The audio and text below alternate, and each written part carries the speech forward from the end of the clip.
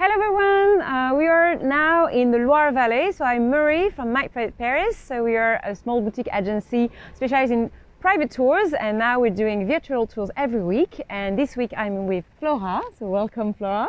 Thank you. So Flora uh, made already a video. You were uh, in the south, in the Dordogne region. Now we are in the Loire. So actually I was born in the Loire, so this is very special for me guys.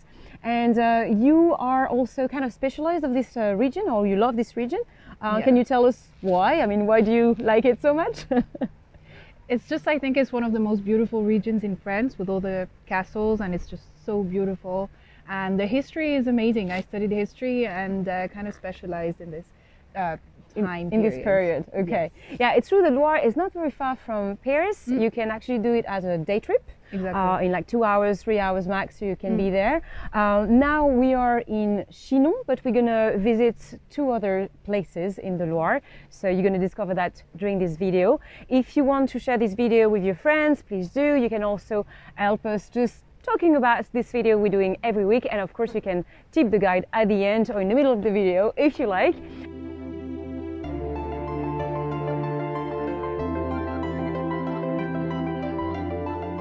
So, what can we know about it?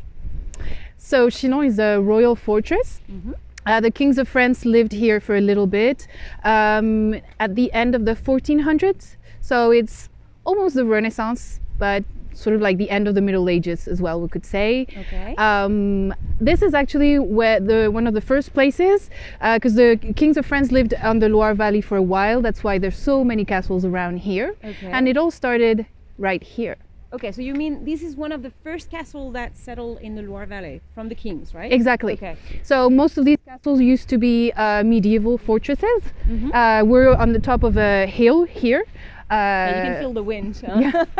so uh, so it used to be a medieval fortress and then um, a, a Renaissance palace. Okay, so what is the difference between the medieval fortress and the Renaissance palace? Can, can you tell just by the architecture? Is it something we can, like for example, if you don't know at all what is a, a medieval fortress, so how do you know is protection? Big walls. Yes, obviously. Okay, those big towers, uh, Yes. big walls. You can see. It's not. You don't have a lot of detail. Is that common in the medieval time? Exactly, because the most important thing is about defense Okay. and also the location, the fact that we're on top of a hill by the river, so you can see really far away. If enemies are coming, you can see. And especially, we're talking about the times of the Hundred Year War against Okay. England. So the enemy at the time is England, right? Oh yes, Okay. big time. Um, actually, at some point, the British were here. It belonged to them. You know, it sort of went back and forth.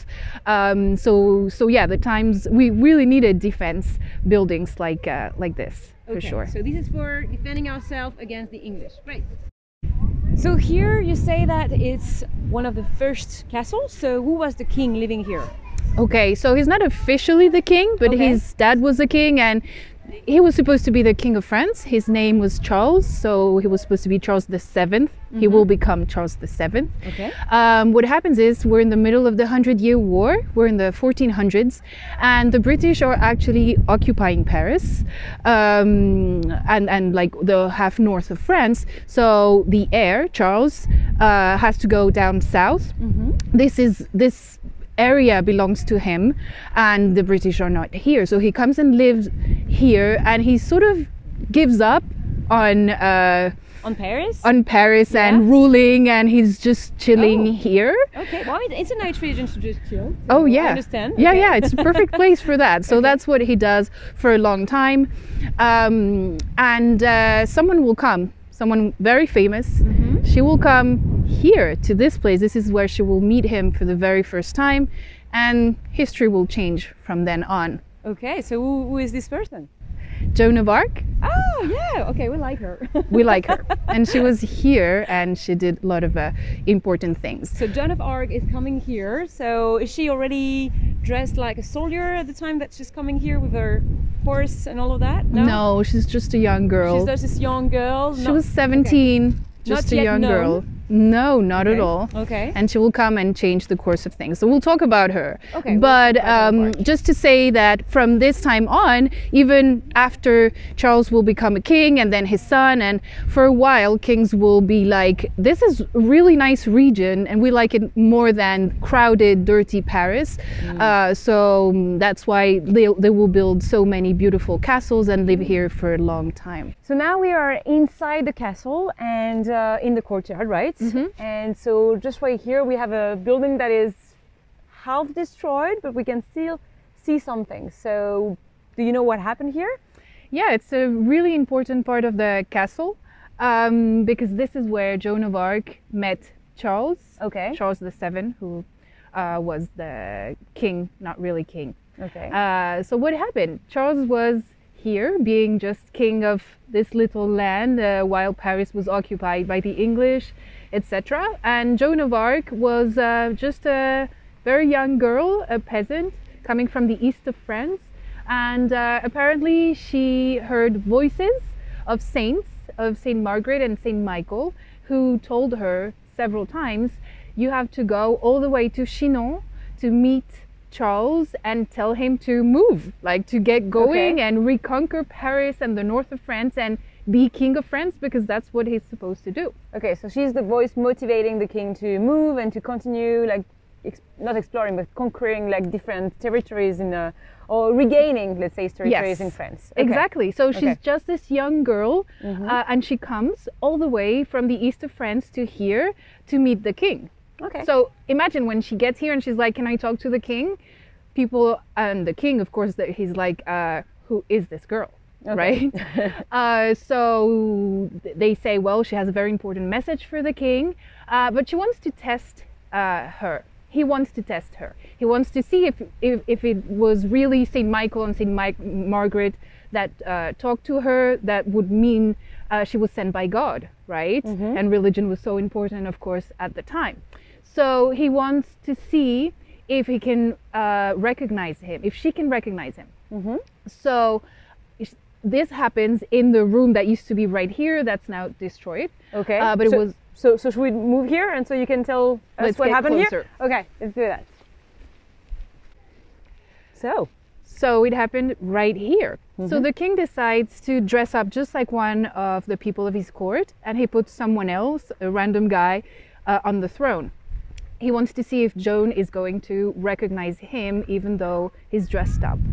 Uh, so she comes in the room, and instead of walking towards the throne, she starts walking, and then she actually sees the king and walks towards him. You have to imagine back then there was no way she could know the face of the king, right? I mean, there was no TV or magazines, so uh, that was supposed to be like a miracle, and that helped the king actually listening to her. You know, like she must be sent by God, otherwise, how could she recognize me? Okay. So that's how it. That's that's what happened here. Okay, so right here, wait, wait, we are. So we, we imagine the the throne being here, for example. Let's say with the Maybe. chimney, and okay, and so she's walking in, and she's not going to the throne, and she's just Just going going, to- straight to the king. straight to the king. Okay. So what she says to the king is three things. We have to go and reconquer Orléans, uh, Orleans, which is one of the big cities, like the biggest city around here, uh, that was taken by the English.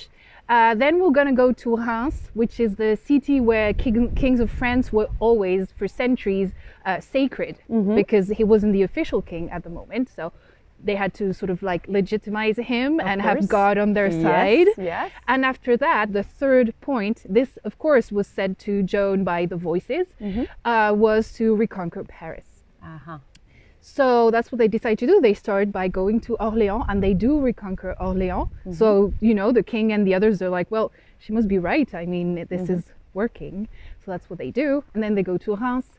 Uh, so the king is crowned. And then it's when they go to Paris to try and reconquer Paris that she is arrested. Uh, she's become someone dangerous because she's the one motivating the king to act and Yes, everything. So she's uh, captured by the English and the Bourguignons, which Mm-hmm. were, you know, there was also a civil war. I mean, that period was really a mess. And she ended pretty bad, right? Joan of Yeah. Arc. We all know how she actually died. Uh, probably you know as well. So she was burned, right? She was So- burned okay. exactly because of the of of all of this because she was she became so important. And Charles, by the way, didn't really help. He wasn't that nice of a guy. Hmm. And I so in. France we say Jeanne, so Jeanne d'Arc, and uh, so Joan of Arc and Jeanne d'Arc, and so she's her legend is uh, is very famous, of course, in France. But there is also kind of a debate, right? There is people believing really in uh, in her. I don't know, in her role as a I don't almost military role, and other people think that she was just an advisor, right, of the king. So there is kind of a little debate historically, or not really? Well, not really historically, I Okay, would say, yeah, but okay. there is a debate. You're right because she became such a symbol Mm-hmm. of um, nationalism in a way, like a patriot. You know, like sort of like let's fight to Mm-hmm. Sure. uh, to to reconquer France. Um, so you know, many different people used her. Uh, as a symbol, uh, so that really is sort of a, a big thing. So you have to be really careful about, you know, what is a legend, what is true. She really did exist. What we're talking about, I mean, she was right here where Mm-hmm. we're that's in- standing. incredible. That's incredible. And there is a little sign here telling Jeanne of Arc was here. Exactly. So yeah, I mean, th- this is this, this is for sure. Yeah. But then, of course, there were many movies made Of- about I'm thinking- her, yeah, I'm thinking and about you see one. her fighting. Yes. that probably never happened. Okay. You know, so we know the king did give her an army, but that was probably symbolic. We know she I was see. very active. Like we have letters that she sent to like the most important um, uh, dukes and counts in France, inviting them to the to the coronation of the king. Like you have to be here. This is really important. So, I mean, she was just a young girl. She was exceptional. She was amazing. Hmm. Okay. But maybe, I mean, she wasn't But trained. maybe she wasn't fighting with a sword and all of that. she wasn't trained as a soldier. Um, but still, still, still a great, great legend of France and great person. still uh, amazing yeah. woman for Okay. sure. Well, thank you, thank you. Rose. So there was another famous person that spent some time here in Chinon, okay. not in uh, such a comfortable way as Charles. Okay. Uh, someone that was a prisoner here. He, na- his name was Jacques de Molay, Mm-hmm. and he was uh, the Grand Master of the Order of the Temple. Okay, so maybe you can tell us more about the Templars because I love it's it's like a mysterious secret kind of order, right? Of Yeah. knights. Yes. Yeah. Yeah, it's very strange because they are religious but also soldiers. Mm-hmm. So they were very, very powerful. You know, it's like spiritual power, but also like they were knights. So they were supposed to protect the pilgrims, and they, you know, and they were fighting in the Middle East. Uh, uh, So we're talking about the Crusades, right? Yeah. So they were going to Jerusalem to protect the pilgrimage there. Okay. Exactly. But after a while, uh, the Christians um, sort of lost everything over there, and uh, so there was really no point to have the Templars so much anymore. But they had become a very powerful order again because they were both um, like an army and sp- they had spiritual power. So they and they had tons of money, so they didn't want to just disappear. And the king of France at the time, um, his name was Philip, Philippe le Bel, um, kind of needed money, you know. So uh, and he wanted them to be gone because they were also um, sort of an army of the Pope, and Philip had a lot of problems with the Pope, you know, uh, power fight. Okay. yes. Okay. So um, at some point, so we're in the 1300s, really the Middle Ages. Um, the king Philip decides to um, arrest all the Templars, the Knight Templars, so the or- to sort of dissolve the order. And that happened on a very special day. I mean, I heard that apparently, if Mm. you're afraid of Friday 13, it's because of what happened with the Templars, right? They were all arrested on the Friday 13 October, right? Exactly, in 1307. Mm-hmm. So that's probably the first Friday the 13th so it's like a cursed, cursed date, day. right? Mm-hmm. oh yeah, there's lots of curses that have to do with this story. So all these all the Templars were arrested, and the Grand Master of the temple at the time, his name was Jacques de Molay, uh, and he spent some time in different prisons around Mm-hmm. Yeah, France. okay. And he spent one year here in Chinon ah, but you mean as a prisoner? as a prisoner. Wow. Okay, so we have to imagine so like a tower like this one could be a prison, Exactly. for example. Okay, that's pretty cool. Okay, we can imagine that he was a prisoner here. Okay. Exactly. And I mean, these kind of castles, I mean, they were homes, but also because of the strategic position, and it's kind of hard to escape from here because it's a obviously, fortress. yeah. Uh, so they were also used as prisons uh, sometimes. And Jacques de Molay was one of the uh, uh, prisoners. So he spent one year imprisoned here before he was sent to Paris Mm. and burnt Uh, Another guy that spent time here and finished burnt. Burn. Like okay, it's kind of a yeah a curse being here. Okay, so Okay. she she was kind of a scary place in a way.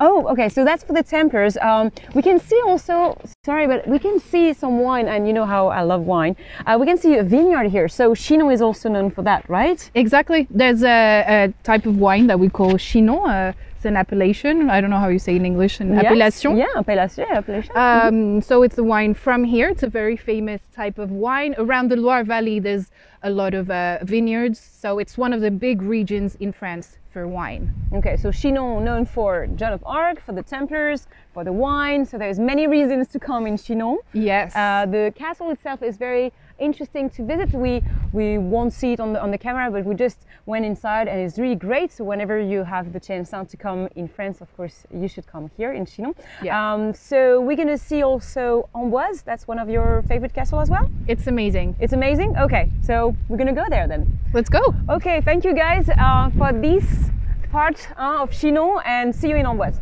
Ciao.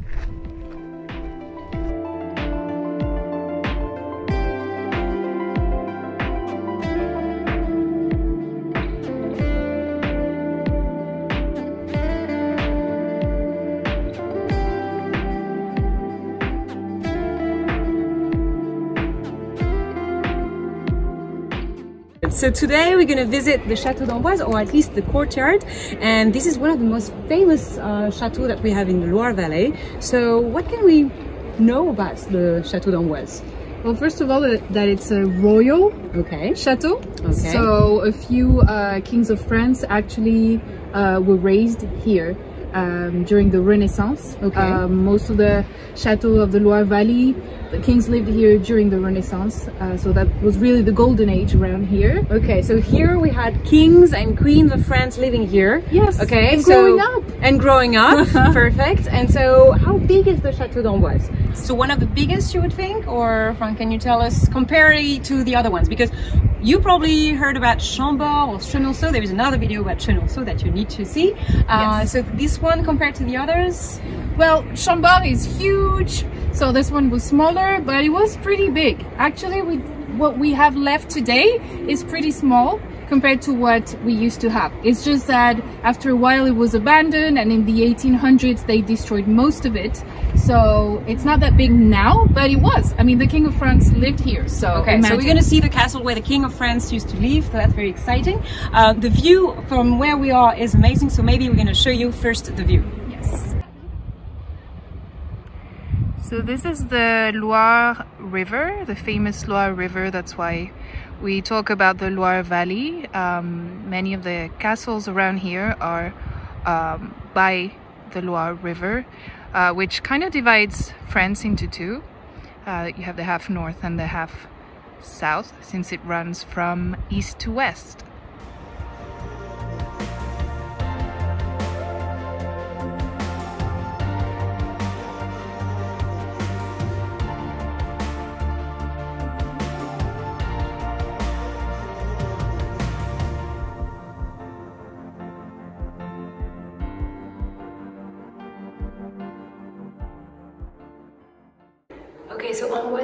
Also known for um, a very famous couple, so Anne de Bretagne and Charles VIII, so Charles VIII. Exactly. Charles VIII, this guy was a king of France. We're in the very late 1400s. So uh, Anne de Bretagne and Charles VIII, Charles VIII, they lived here. And Charles VIII, he died very young in a kind of very, very silly way. Okay, It's one of those famous silly deaths. okay, tell me more. what So, happened? He was here in the in the castle, and he was watching his friends playing this ancient type of tennis. Okay, Uh, so that we call jeu de paume, right? Like you play with your hand directly, right? Exactly. Yeah. So he was watching them. They were somewhere below, and he got really excited and he wanted to go play with them. Uh, but the door happened to be a little bit low, and he hit his head. Okay, so just like bim, like Yeah, he went like- into the door. Oh my god! I want to go and play tennis with them. Okay. He left. He hit his head, Okay. and uh, he got a headache, Yeah. and uh, he died. Okay, so he died of a commotion. We imagine Probably. that probably like blood went into his brain, and that was it. That was That's the end, the silly end of Charlie Eight. and he wasn't even 30 years old. Oh, that's sad. So Okay. sad and silly. Okay. So here we are just at the balconies of the Chateau d'Amboise, and so what happened here? Okay, I wanted to tell you something that happened here, which is probably the worst thing that ever happened in this chateau. Okay. Uh, the 1500s, the Renaissance time, were not easy time. It was not just all about beautiful paintings and art and everything. In France, we had religion wars between Catholics and Protestants. This is just after the Reformation. Um, and it wasn't easy for Protestants. Uh, kings of France were always Catholics forever, Yeah. and they didn't really want Protestants to be around. This time, we're in the early 1500s, and the king, called Francois II, Francis II, was a very young boy. He was 15. He had just become a king. His father died, and um, he decided the Catholic um, radicals would be the ones uh, counseling him. Okay. So, because the power was weakened, the king was just a teenager, basically. By the way, you know who his wife was? Okay, so François II. Oh, no, tell me. A Scottish queen, Ah, oh, Mary, like me. Yes. Yes. Mary Stuart. Yes. Mary Stuart. Was here and she was the wife of this. She was a teenager as well. So her husband, Fra- Francois II, chooses the Catholics to counsel him. Okay. So the Protestants decide, well, we're going to try and kidnap him. He lived here in Amboise. Okay. um, and try and turn things around um, to try and, you know, uh, get the power. Okay. Uh, so um, it didn't work. Okay, so they tried to kidnap the king, didn't work, or it kind of no. I mean, they, they couldn't actually get him, or what happened? no, happened? they couldn't. It was a disaster. Okay, they so- caught him. They caught not a them. good idea. Don't Not- try to kidnap a king. It's not Don't. going to be good. Even if he's just a teenager, he has people around him. Yes. Doesn't work. So they got arrested. Um, about 1,200 people got arrested. wow. Yes, of the Protestant uh, party, and some of them were actually hanged. And they say they were hanged from the balconies of the castle. Where we are, right? Yes. Right here. Okay, Exactly. so and and so you say that dozen of people were hanged here. Probably. Okay, this is gross, but uh, that's yeah, probably Renaissance time, right? So yeah, to show the example and like, don't try and kidnap the king. okay, so thank you.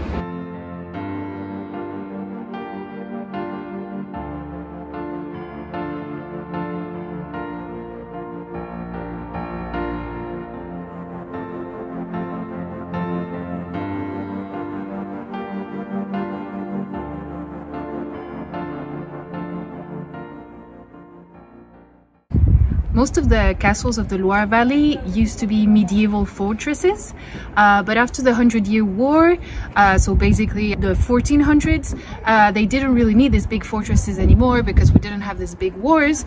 Uh, so they transformed the castles. You didn't have these big fortress towers, but you had architecture like this.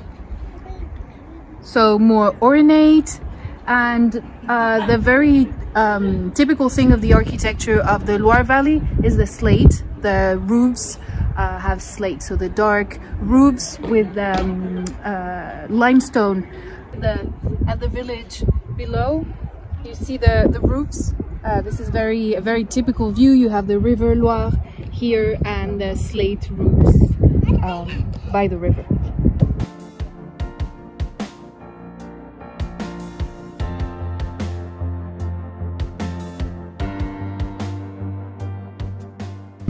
What do we have here?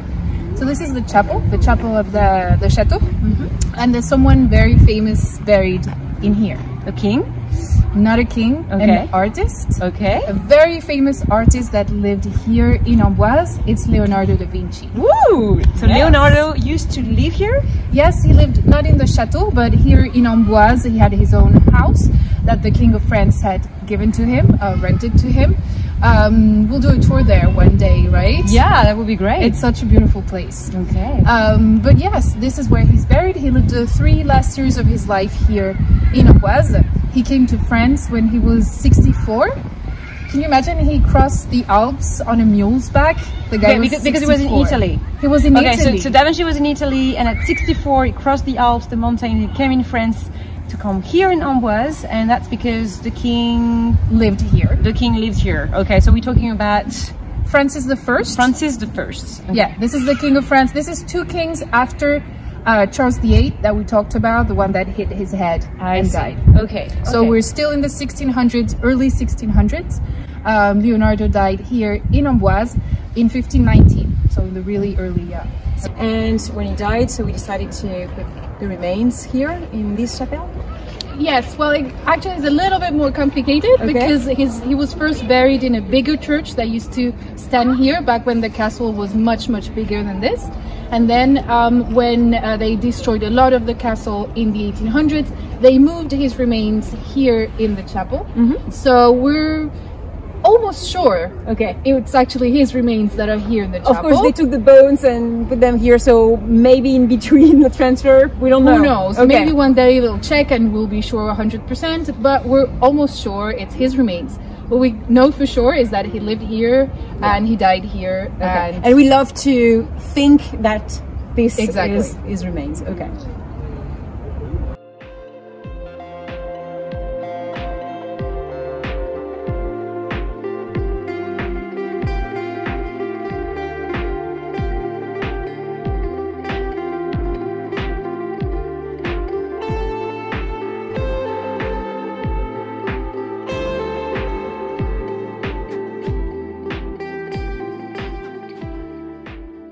So now we are in Blois. So after Chinon and Amboise, this is our third castle in the Loire Valley. So we're still with Flora. And so what is so special about this place?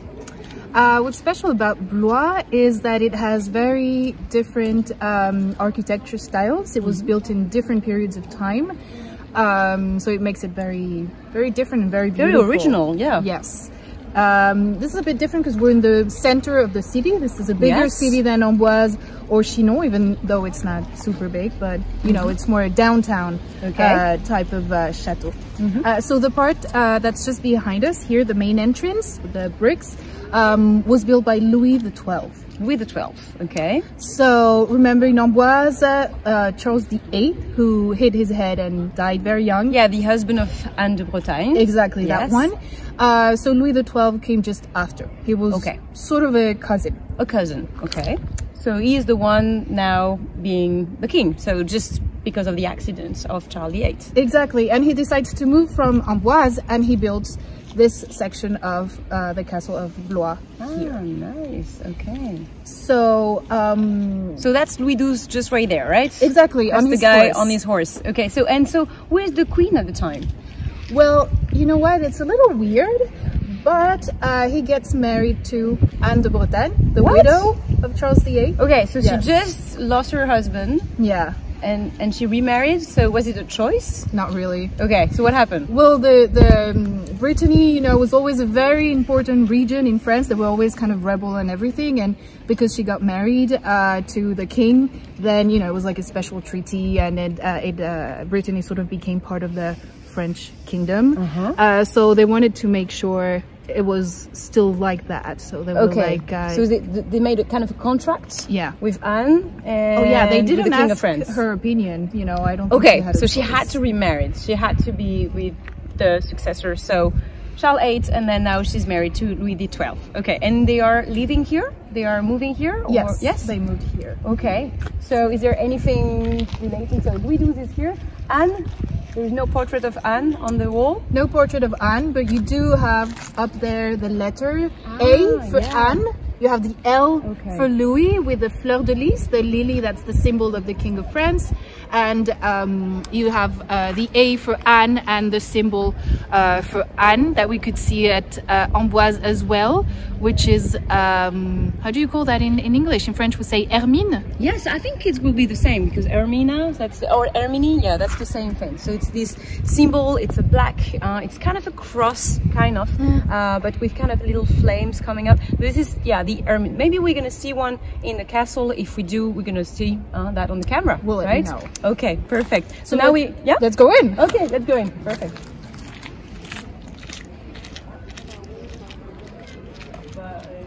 Now we are in the courtyard. So what can we see around here? So you can see all the different um, styles. Yes. Uh, here we still have the brick building that was built by Louis XII. Uh, so we're really at the transition between the Middle Ages. You still have a little bit of Gothic, especially on the windows, um, and uh, the Renaissance. We're around uh, 15, the year 1500. Um, and you can see this building is very different. It's from the 1600s. It was built by the uncle of Louis XIV, the Sun King.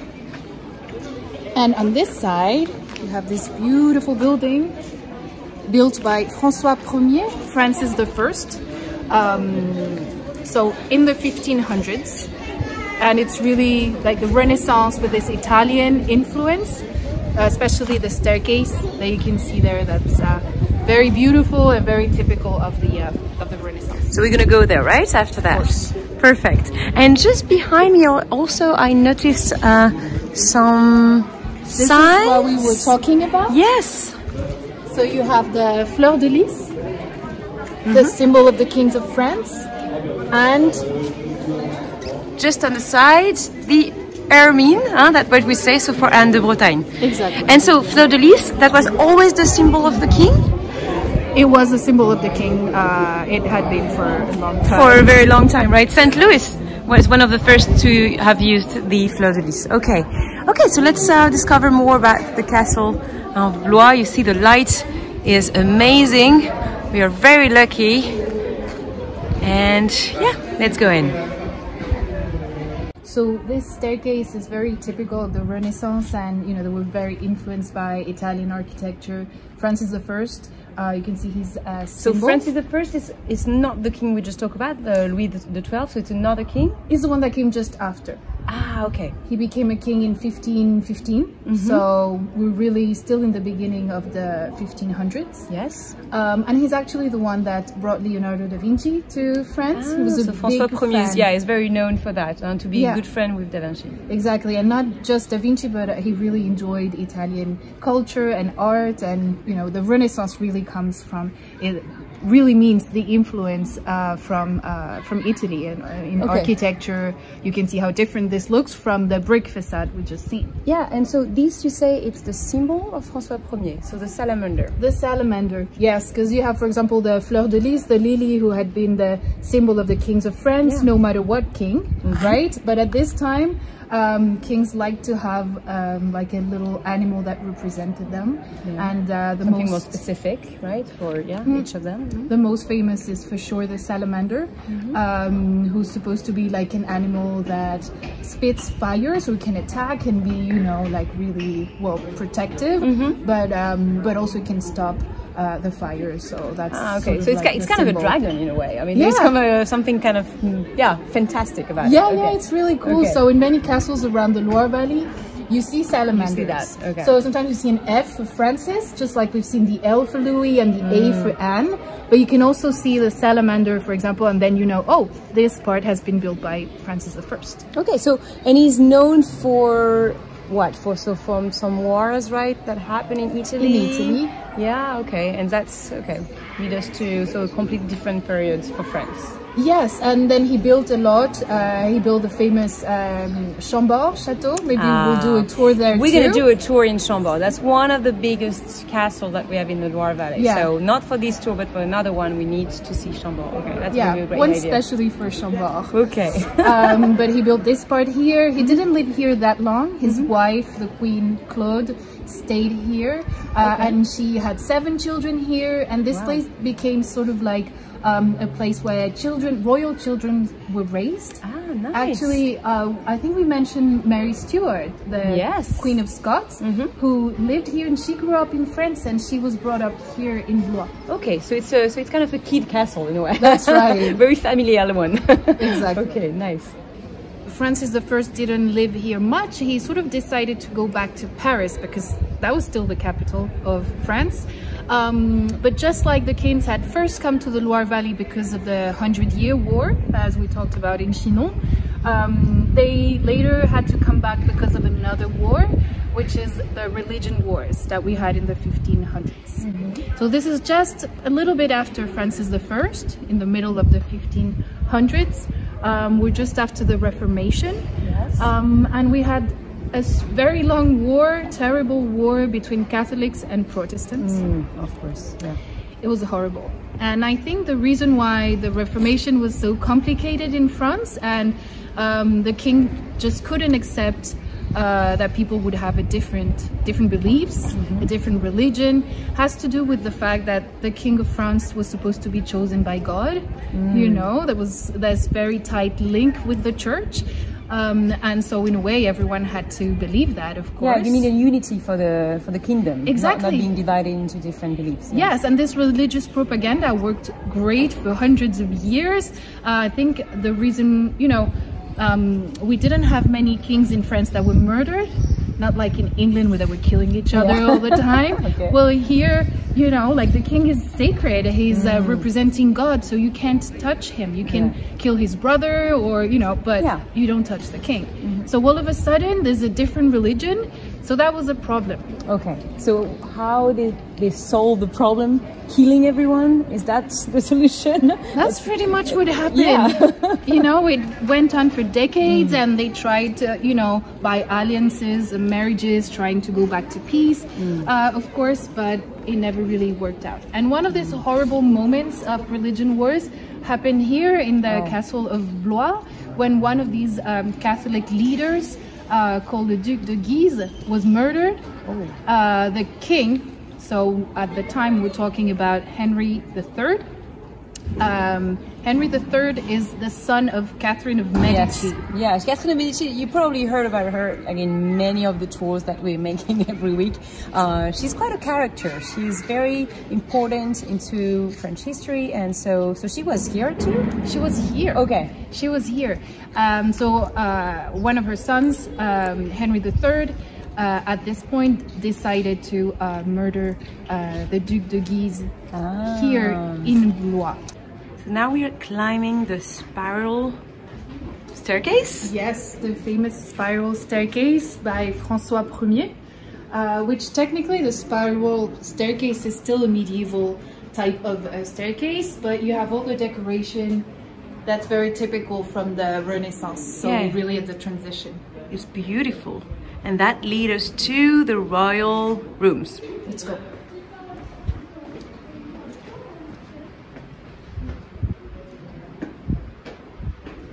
This is the king's uh, chamber, and this is where the Duke of Guise was murdered. This is the queen's bedroom, and this is where Catherine of Medici died. Oh. So just right here on this bed. We're in one of the oldest parts of the Chateau de Blois, the medieval part, and um, this it was used for um, shooting very many different films, including uh, Jeanne d'Arc, Joan of Arc, by Luc Besson.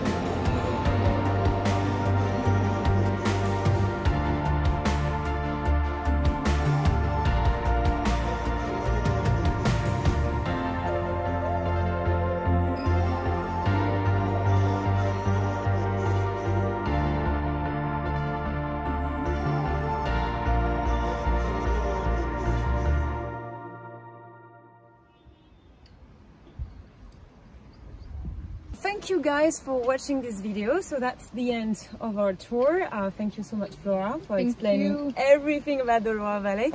Um, so if you like this video, please share, uh, follow us also. Every week we're making this type of video. Also, if you're supporting us with a little tip for your guide, you will receive a little bonus. Uh, you will see us in a wine cellar. That's pretty cool to see. Yeah. I'm telling you. Um, so yeah, so please continue to support us. That's uh, that's mean the world to us, and that's uh, of course great to continue our work during this whole year where we are waiting for you guys, waiting for you to come here in the Loire Valley to join us on those amazing tours. So thank you so much. Thank you, Flora. And Thank you. Ciao. Bye, guys.